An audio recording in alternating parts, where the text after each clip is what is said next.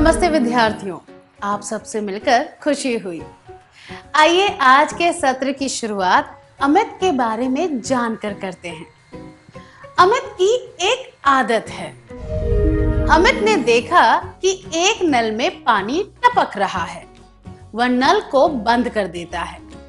एक खाली कमरे में पंखा चल रहा है तो वह उसे बंद कर देता है।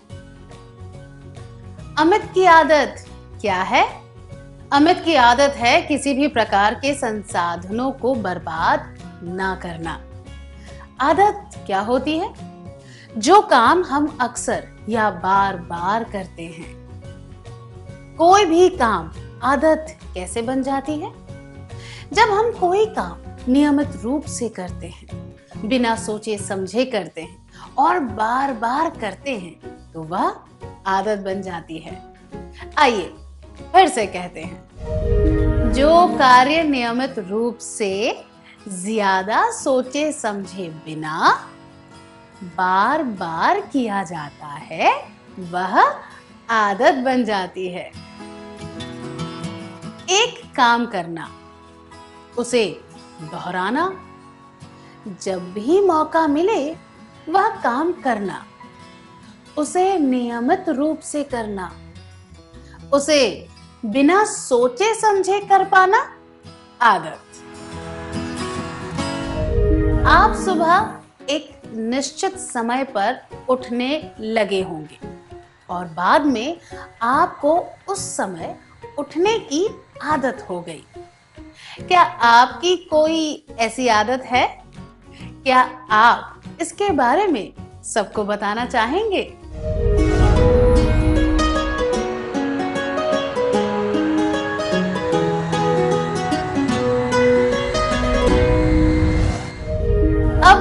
परिस्थिति के बारे में सुनिए। सुकुमार को ताश खेलना पसंद है। समय बिताने के लिए उसे दोस्तों और रिश्तेदारों के साथ ताश खेलना अच्छा लगता है। सुकुमार और उसके कुछ दोस्त राज के घर जाकर बहुत देर तक ताश खेलते रहते थे। राज का चचेरा भाई किशन उसके घर छुट्टियों में रहने आया था। जब सब लोग ताश खेल रहे थे, तब किशन ने कहा कि वे बच्चों की तरह खेल रहे थे। असली मज़ा तो पैसों के लिए खेलने में है। सुकुमार को यह बात पसंद आई। वह मान गया, पर राज, इस तरह नहीं खेलना चाहता था। आपको क्या लगता है? सही कौन है? किशन, जिसने यह सुझाव दिया था सुकुमार, जिसने यह सुझाव मान लिया था, या फिर राज, जिसने इस बात के लिए इनकार कर दिया था। राज सही था। क्या तीन विद्यार्थी इस परिस्थिति का अभिनय करके दिखा सकते हैं?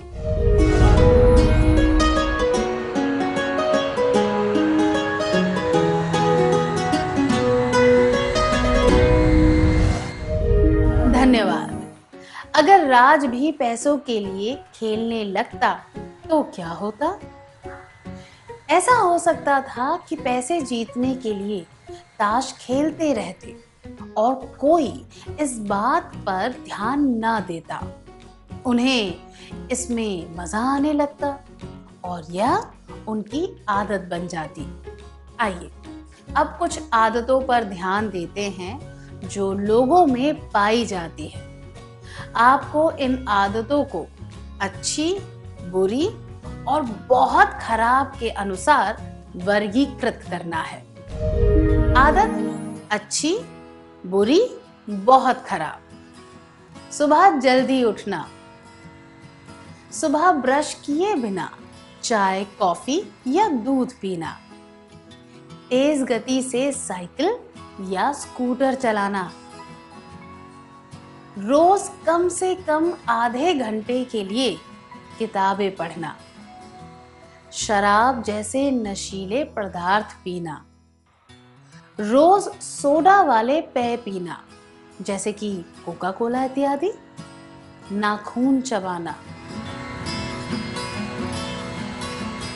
सिगरेट बीड़ी पीना, कई घंटों तक टीवी देखना, रोज गृह कार्य करना। दूसरों के साथ अक्सर शर्त लगाना। रोज छह से सात घंटों के लिए सोना।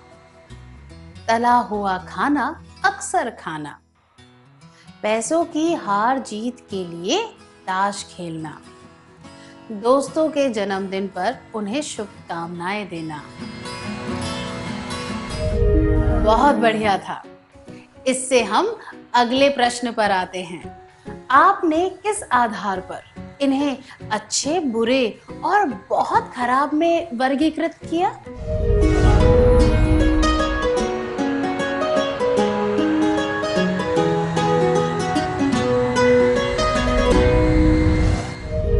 धन्यवाद।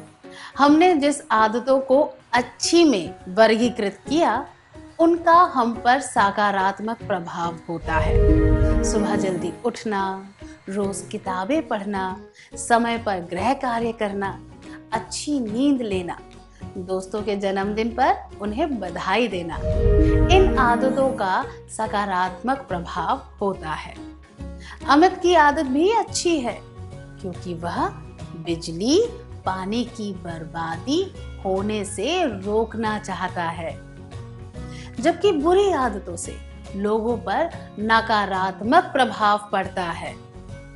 कुछ बुरी आदतों का असर सेहत पर भी पड़ता है। और कुछ बुरी आदतों से किसी व्यक्ति का समाज में नाम खराब हो सकता है। ऐसी आदतें सामाजिक और व्यक्तिगत नज़रिए से अवांछनीय होती हैं और लंबे समय में हानिकारक भी होती हैं। उदाहरण के लिए, अगर कोई हर जगह देर से पहुँचे। तो लोग यह सोचेंगे कि वह विश्वसनीय नहीं है और उसमें अनुशासन की कमी है। पर जो आदतें बहुत खराब हैं, उनसे व्यक्ति की सेहत और सामाजिक छवि पर ज़्यादा खतरा होता है। ये आदतें लत बन जाती हैं और इसके परिणाम बहुत गंभीर होते हैं। ये खराब आदतें केवल आदत नहीं, बल्कि व्यसन होती हैं, जिनसे व्यक्ति को, उसके परिवार को और समाज को भी बुरे परिणाम झेलने पड़ते हैं। हमें पता है कि ये आदतें व्यसन होती हैं, क्योंकि व्यसन करने वाले व्यक्ति अपनी आदत को सबके सामने स्वीकार नहीं करते। बुरी आदत वाला व्यक्ति यह मान लेता है कि उसे बुरी आदत है। जैसे कि कोई व्यक्ति यह मान लेगा कि उसे नाखून चबाने की आदत है। मगर कोई भी आत्मसम्मान वाला व्यक्ति यह स्वीकार नहीं करेगा कि वह शराबी है। आदतें अच्छी, बुरी और खतरनाक हो सकती हैं। पर जिन आदतों से सबसे ज़्यादा खतरा होता है, उसे व्यसन कहा जाता है। क्या हम कुछ व्यसनों के, हानिकारक परिणामों के बारे में जाने? शराब पीने से आलस, घबराहट, बेहोशी, कोमा या फिर मृत्यु भी हो सकती है। यह इस बात पर निर्भर करता है कि किसी व्यक्ति ने कितनी शराब पी है। सिगरेट या बीड़ी पीने से शरीर को बहुत नुकसान पहुँचता है। इससे हृदय, फेफड़े और रक्त की बीमारियाँ होती हैं। केवल सिगरेट बीड़ी पीने वालों को नहीं, बल्कि उनके आसपास रहने वालों को भी उसके धुएँ से नुकसान पहुँचता है। जो व्यक्ति जल्दी पैसे कमाने के लिए गलत रास्ते अपनाता है उसे जुआ खेलने की लत लग जाती है। अक्सर यह होता है कि उसके पास जो थोड़े बहुत पैसे होते हैं, वो भी खर्च हो जाते हैं और समाज में उसकी इज़्ज़त भी नहीं रहती। अब आपके लिए एक प्रश्न है। क्या आप ऐसे लोगों से मिले हैं जिन्होंने व्यसन की वजह से अपना जीवन बर्बाद कर दिया? अगर हाँ तो क्या आप उनकी कहानी सुना सकते हैं? कि उन्हें कैसे लत लगी? और उसका उन पर, उनके परिवार पर क्या प्रभाव हुआ? आपको उनके वास्तविक नाम और परिचय देने की आवश्यकता नहीं है।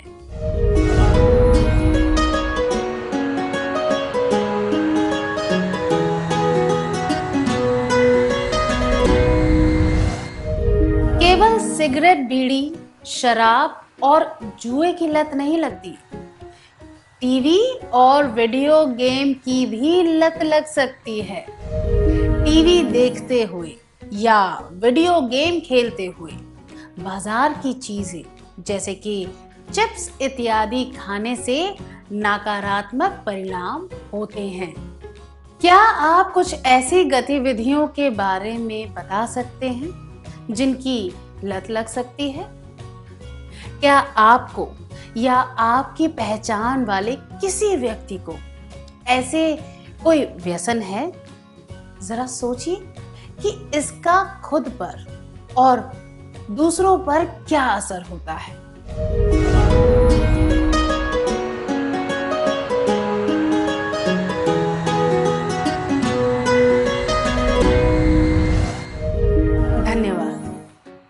अब एक कहानी सुनते हैं। अरविंद को टेक्नोलॉजी में बहुत रुचि है। स्कूल में भी वह छोटी मोटी मशीनों को खोलकर, उनके बारे में जानकारी लेकर उन्हें फिर से जोड़ देता था। वह टेक्नोलॉजी की प्रतियोगिता में भाग लेता था और इनाम भी जीतता था। वह इंजीनियर बनना चाहता था।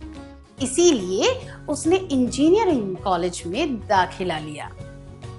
एक दोस्त के जन्मदिन की पार्टी में सबके कहने पर उसने शराब चख ली। फिर ऐसे ही मौकों पर दोस्तों की बातों में आकर वह शराब पीने लगा। धीरे धीरे उसे शराब की आदत लग गई। वह शराब पीने के बहाने ढूँढने लगा। पढ़ाई और रोज़मर्रा के खर्च के लिए जो पैसे थे, वह उसने शराब पर खर्च कर दिए। उसे दोस्तों से पैसे उधार लेने पड़े। पैसे ना लौटाने की वजह से वह दोस्तों से नज़रें चुराने लगा। जब उसके माता पिता उसे सलाह देते तो वह उनका भी अनादर कर देता। उसे अपनी पढ़ाई छोड़नी पड़ी। और उसका इंजीनियर बनने का सपना अधूरा रह गया। क्या अब आप सोचकर बता सकते हैं कि शराब के व्यसन का उस पर और उसके परिवार पर क्या असर हुआ होगा? अगर उसकी उम्र के बहुत सारे लोग शराबी हो जाएँ, तो उसका समाज पर क्या असर होगा?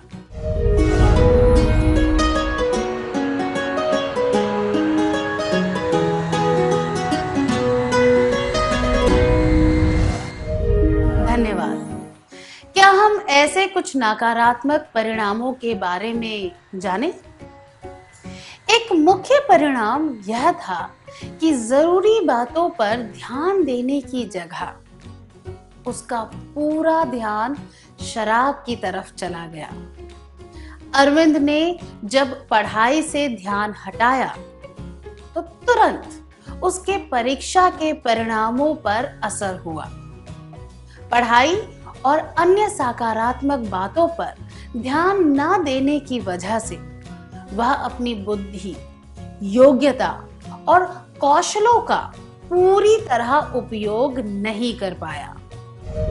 व्यसन का परिवार और समाज पर असर, योग्यता, कौशल बुद्धिमता इत्यादि, उसकी कमी या फिर उसका पूरा उपयोग ना कर पाना। हमने देखा कि परिवार के साथ उसके रिश्ते बिगड़ गए थे।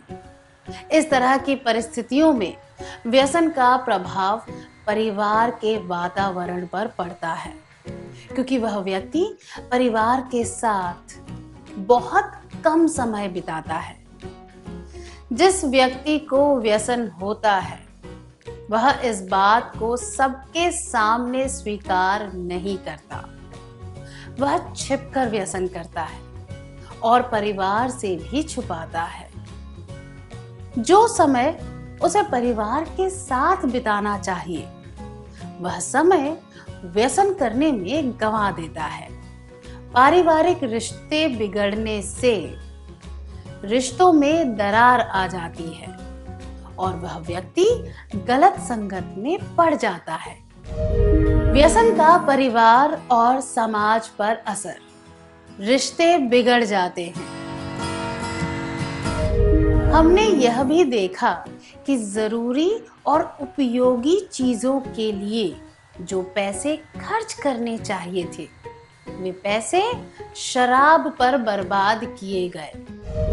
व्यसन का परिवार और समाज पर असर। समय, पैसे इत्यादि की बर्बादी। समाज का भविष्य युवा पीढ़ी पर टिका हुआ है। अगर बुरे रखरखाव की वजह से अच्छी फ़सल खराब हो जाए तो वर्तमान फ़सल तो बिगड़ेगी ही।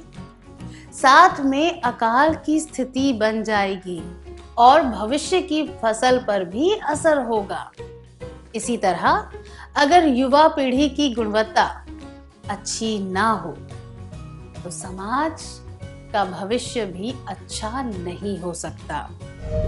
व्यसन का परिवार और समाज पर असर। उस पीढ़ी की गुणवत्ता खराब हो जाती है।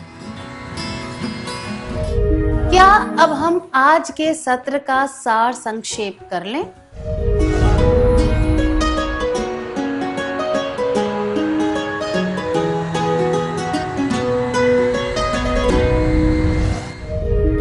कार्य नियमित रूप से ज़्यादा सोचे समझे बिना बार बार किया जाता है, वह आदत बन जाती है। आदतें अच्छी, बुरी या हानिकारक हो सकती हैं। जिन आदतों के सबसे बुरे परिणाम होते हैं, वे व्यसन कहलाती हैं। व्यसन का परिवार और समाज पर असर, योग्यता, कौशल बुद्धिमता इत्यादि। उसकी कमी, या फिर उसका पूरा उपयोग ना कर पाना। रिश्ते बिगड़ जाते हैं। समय, पैसे इत्यादि की बर्बादी। उस पीढ़ी की गुणवत्ता खराब हो जाती है। इतनी अच्छी तरह सार संक्षेप करने के लिए धन्यवाद। आइए, अब थोड़ा ग्रह कार्य लिख लेते हैं। ताकि ये बातें हमें अच्छी तरह याद रहें।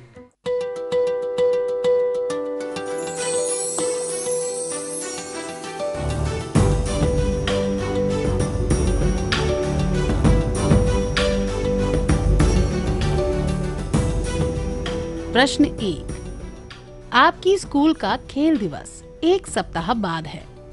आपके दोस्तों ने शर्त लगाई कि इस साल उनका दल चैंपियनशिप जीतेगा। वे चाहते हैं कि आप भी शर्त में शामिल हो जाएँ। आप क्या करेंगे? जवाब, एक, मैं उन्हें कहूँगा या कहूँगी कि शर्त लगाना गलत होता है और मैं मना कर दूँगा या कर दूँगी।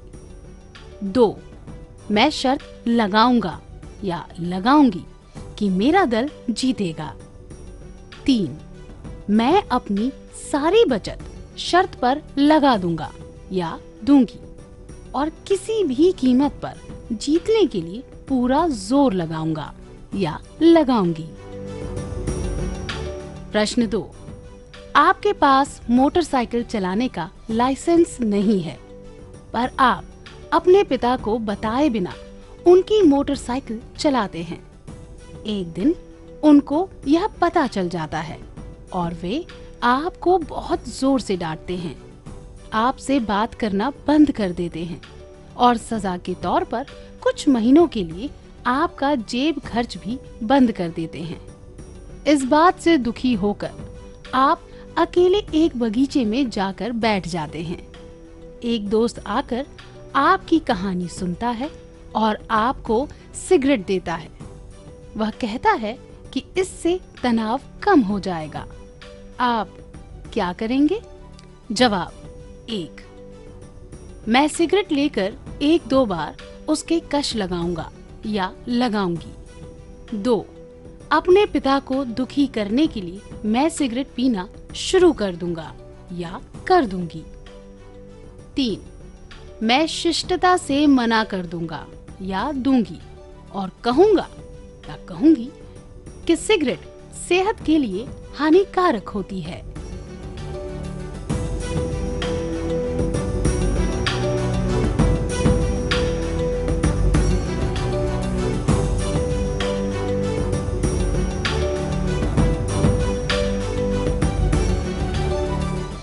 क्या आप अगली बार आने से पहले यह कार्य पूरा करके लाएँगे? तब तक के लिए अलविदा।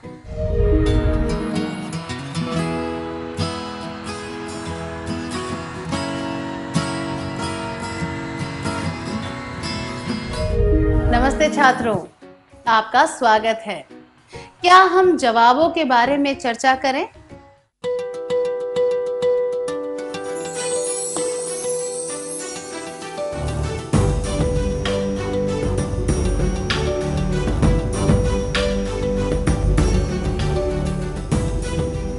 प्रश्न एक, आपकी स्कूल का खेल दिवस एक सप्ताह बाद है। आपके दोस्तों ने शर्त लगाई कि इस साल उनका दल चैंपियनशिप जीतेगा। वे चाहते हैं कि आप भी शर्त में शामिल हो जाएँ। आप क्या करेंगे? ये जवाब, मैं शर्त लगाऊँगा या लगाऊँगी कि मेरा दल जीतेगा। और मैं अपनी सारी बचत शर्त पर लगा दूँगा या दूँगी। और किसी भी कीमत पर जीतने के लिए पूरा ज़ोर लगाऊँगा या लगाऊँगी। अनुचित है। ये दर्शाते हैं कि आप अनुचित कार्य में शामिल हो रहे हैं। जबकि यह जवाब, मैं उन्हें कहूँगा या कहूँगी कि शर्त लगाना गलत होता है और मैं मना कर दूँगा या कर दूँगी। उचित है। यह दर्शाता है कि शर्त लगाना एक व्यसन है और आप इस बात को समझते हैं। और आप अपने साथियों के दबाव में आकर कोई गलत काम करने से भी बच रहे हैं। आपने कौन सा उत्तर चुना?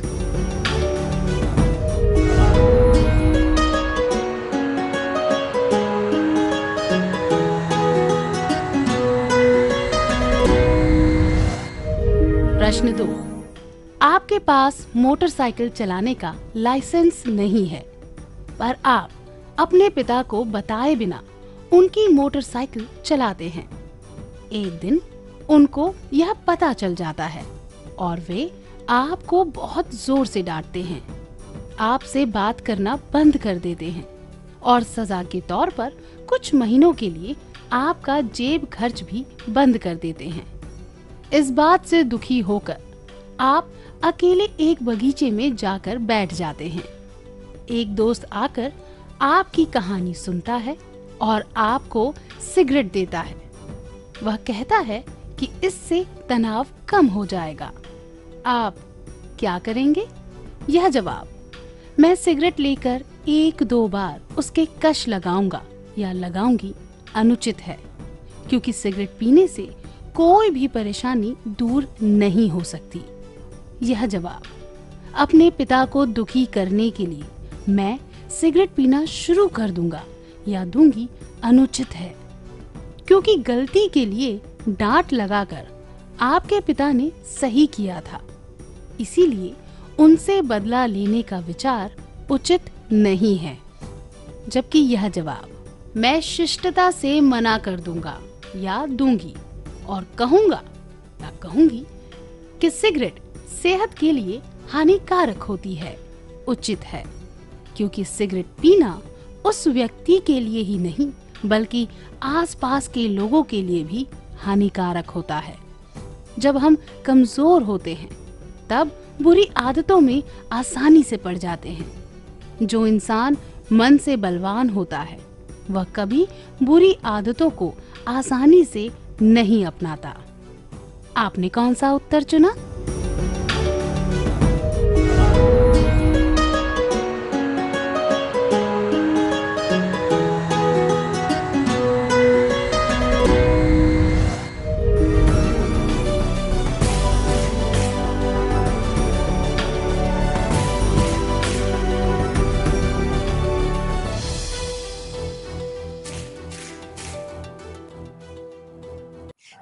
सही जवाब चुने थे उन्हें बधाई। क्या हम अगला सत्र शुरू करें?